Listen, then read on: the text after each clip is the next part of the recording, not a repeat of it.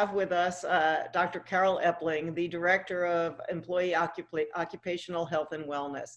And uh, Carol um, is here to talk with us a little bit today about uh, monitoring of, of COVID 19 infection and follow up for those who are infected. So, maybe, uh, Carol, can you tell us a little bit about uh, daily symptom monitoring, how, how it works, who's getting the information, um, and then how is Duke actually protecting the privacy of uh, patients uh, in the monitoring process? Thank you for the question and for the opportunity to be here. Um, daily symptom monitoring is one of the pillars of our safety planning for allowing employees and staff, to, faculty and staff, to be back on site working safely. We all need to monitor ourselves every day for the presence of any symptom that may be a sign of COVID infection. So, what we're doing is offering a couple different ways that faculty and staff can complete daily symptom monitoring most easily for them. Uh, there are uh, apps that have been developed and are about to be launched, both for, for the health system or developed by health system developers and by our OIT colleagues uh, as well. And these apps are both very easy for us to download onto a smart device and then very rapidly just complete the survey on a daily basis, uh, indicating whether we're having any fever, any shortness of breath, cough, sore throat, runny nose, body aches, um, muscle uh, or um, severe headaches or new GI symptoms or new loss of taste or smell. So it's really important to know what those symptoms are and look at them every day. Don't discount any of them. And if uh, there's a new symptom present, then to stay home and be in await contact from employee health. So those that information that is collected from the app is uh, transmitted to a secure central data platform that manages all the protected information in a very secure fashion. And for lack of a better name, we call our system the Employee Health REDCap system. Uh, there is also a way to just simply use a link from our preferred email to go directly into our REDCap system and also complete that very same symptom survey. So what happens then? You know, I, I'm filling out my survey every morning before I come to work. Uh, is there an automated way, automated way I check a symptom? Uh, do I get an automated response that says stay home until somebody contacts you? Um, yes, it's going to say you should not come to work stay home or return home. Ideally, we would like everyone to do this even before they leave their house because why come in if you're starting to feel that scratchy throat or that sore throat? Just stay home. Tell us you have the symptom. And then our staff at Employee Health receives that information every day. We, we are reviewing those symptom surveys um, seven days a week, 8 a.m. to 8 p.m. And as they come to us, we have staff working steadily to reach out to the uh, person reporting that symptom to talk with them to get them scheduled for prompt testing that very day if possible. Mm-hmm. Now, what happens if I'm an employee and I uh, have not filled out my survey? How are you? Are you monitoring this? Is there a way to tell? So um, we are not monitoring if a person has filled out their survey. That's employee health doesn't have that role. Mm-hmm. Um, but as an institution, uh, there is the ability, we will be on controlled access for right. buildings. So there will be a way for department leadership to view who is coming into buildings and to know just yes or no whether they've completed symptom monitoring on the day they're accessing buildings. So, So that- in theory, your card could be inactivated or what have you if you haven't filled out your uh, survey that day. That's correct. I understand. Now, so let's say now somebody's filled out their survey. Uh, the person they've they've been contacted by someone in employee health. They're now um, there's now some concern. So how do you go from there? Well, so the person then is out of work automatically while we are, have arranged testing. They're going to go to one of our swabbing tents and get the nasopharyngeal swab. It will go promptly to our laboratory, and we're so fortunate to have the Duke Lab supporting employee testing uh, so that we're getting the really the best test possible and a prompt turnaround.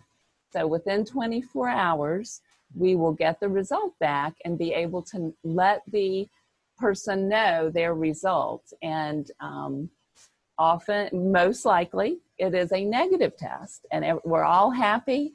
Uh, the if the individual is not having other symptoms that would typically keep them out of work, if they don't feel well enough to work, they need to stay out of work. Mhm. But oftentimes, they actually feel fine and able to work with no fever, no vomiting, no diarrhea, so they can come on to work the, the very next day with a negative test. Now, let's say the test is positive. What what happens then? Well, that's a very different story. So then we have a new case of COVID illness in one of our employees. And so we have a dedicated team at Employee Health uh, to who will reach out to that that person as that day that we are notified of that positive result so that we can provide them with that result and make sure that they're doing okay in terms of their symptoms make sure that they have a plan for accessing medical care because, throughout the course of their condition. Um, and also then to gather really important details around when did the symptoms start and where was the person on each day beginning at the beginning of their potentially infectious period to others 48 hours before the first day that the symptoms started? And were they in the workplace? Were they in contact with anyone in our duke community? Uh, and then based on that information we the next step in the process is what we're all hearing so much about these days contact tracing and so we have staff who then do that next step as well So um, I'm just curious about the window of contact tracing. In other words, someone presents to you with symptoms. You believe, you know, they were potentially, as you said, 48 hours before that. Those folks are relevant. Um, now, let's say someone is contacted through the contact tracing. How long? How long do they have to be worried for uh, that they might also be positive? And when in that process would you recommend they get tested? Oh, those are great questions. So we so when we've identified someone who's a potential contact during that infectious time, 48 hours before symptom onset, all the way up to, until the very day we're talking to the person, because now they have symptoms. We call that contact. We are first trying not to reveal the name of the uh, person who has the illness unless they have given us express consent to allow us to do that. And some many people do that. Um, but others really want to keep their information as private as possible. And so then we are in contact with people on the list and we say, uh, we are aware that you may have been in contact with someone who's been diagnosed with COVID infection. We ask details about the activities of interest that we already have an idea about for that particular day. And then we get the really critical pieces of information to inform us as to whether this is meets the definition for close contact.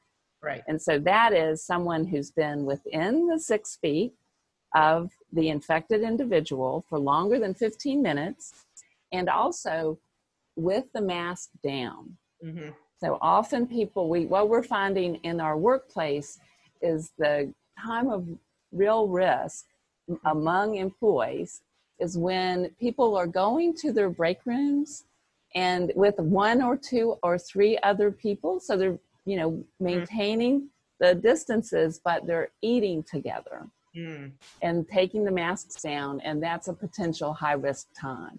So, Mhm. say someone is that particular, has that particular type of contact, well, then we have an incubation period Right. of time that the individual needs to be on high vigilance, high alert for the development of any symptoms. That's 14 days from the date of that last contact to the, the infectious person.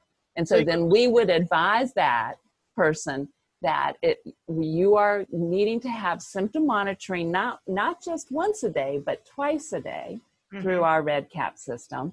We may recommend quarantine depending on the type of risk. Um, and then at this time uh, we're recommending testing for the highest risk Mhm. exposure which is typically for us exposure in the household Mm. to a household member who's tested positive. At this time, we have not been recommending on a um, uh, on a consistent basis to have testing for other risks So if in the someone workplace. was, yeah, so if someone was out, if they had been outside at lunch, six feet away, you would probably just have a wait and see, for instance, and only treat, uh, only test them if they were symptomatic. Absolutely, absolutely. I understand. Well, or if they were close together, but masks were up the Yeah. whole time. So they will be monitored. They won't be offered testing unless they become symptomatic. I see, I see. Well, I understand it's been a huge job. Uh, unfortunately, in North Carolina, uh, and Duke is no exception, we've seen a continued uh, increase in cases. Uh, we very much hope that there's a turnaround soon, and I know uh, your office and you have been working around the clock to keep our uh, employees as healthy and safe as we can. So uh, I really appreciate it, and I know the whole community appreciates it. So thank you. Thank you. Absolutely. I'm hopeful too.